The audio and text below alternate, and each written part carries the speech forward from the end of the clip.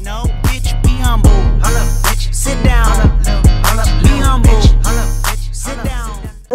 Angel babes and welcome back to my channel. So in today's video I'm going to be doing something a little bit different here on my channel. I'm going to be showing you guys how I style my hair at home in between salon visits. Um, so if you have a pixie cut this video will be beneficial to you. I am not a professional you guys. This is just something that I do to maintain my pixie cut and something that's super easy for me to do here at home. If you would like to see more videos like this don't forget to give this video a big thumbs up. Also if you're not subscribed to my channel I don't know what you're waiting for. Hit that subscribe button and let's jump right into it. So the products that you'll need for this look is some shampoo and conditioner. My choice is the Nairobi shampoo and conditioner. You can use whatever shampoo and conditioner that you love and of your choice.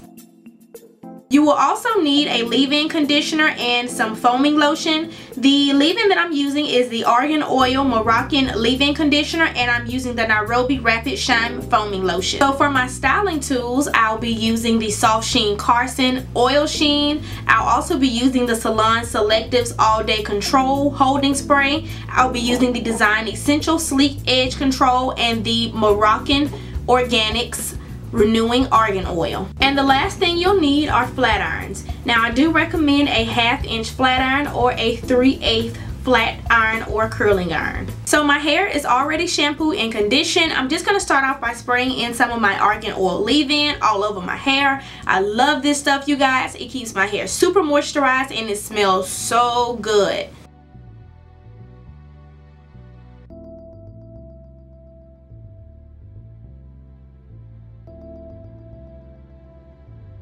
going in with my Nairobi Wrap-It Shine Foaming Lotion. As you guys can see, I'm using a generous amount of this stuff. I want my hair to be super sleek and super flat. Um, I'm also making sure that I get the product at the roots as well as the tips of my hair so that my hair will be as flat as possible.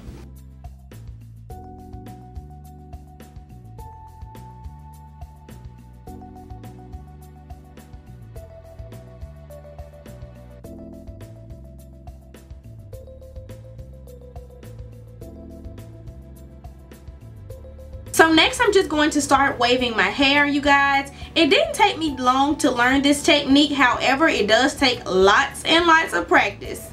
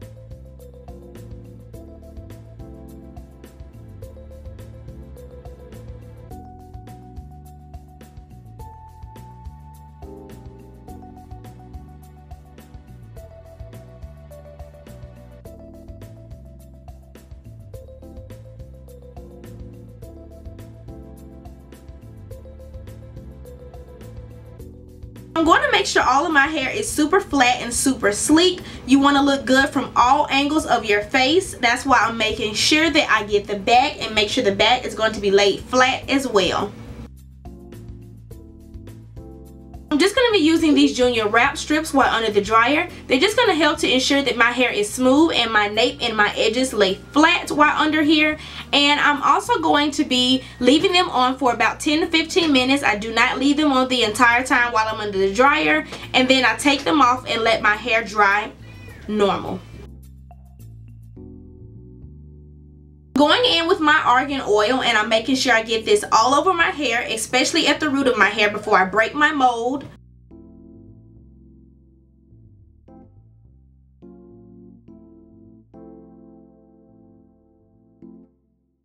So basically what I'm doing is I'm going to interrupt this mold and I'm just going to pick up pieces of my hair and just curl them and then kind of flip them going towards the back to give my hair a little bit of style so it won't look so flat.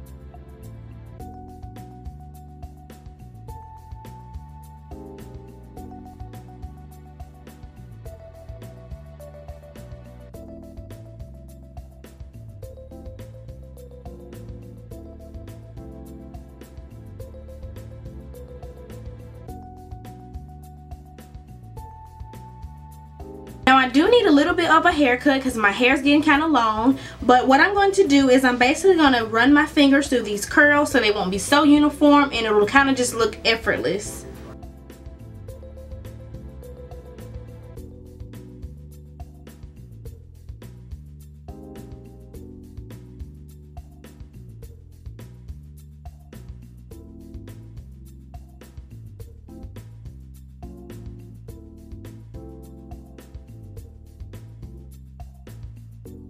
Next I'm going to take my headscarf and I'm just going to tie my hair up flat and I'll be back to show you guys the finished results.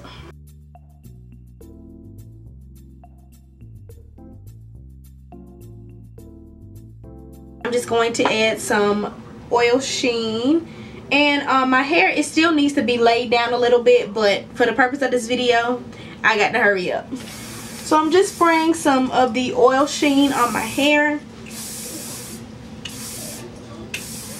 So this is the final look Yes, girl. Yes, slay. So anyways, you guys, I did not have to use any of my edge control or my holding spray. Normally, I don't have to use these products till about my third or fourth day um, on my mold. So, um, yeah, you guys, I hope you guys enjoyed this video. If you guys want me to do more videos like this and start an actual hair series on how I treat my hair at home in between salon visits, don't forget to give this video a big thumbs up and subscribe to my channel. I love you guys so much, and I'll see you in my next video video.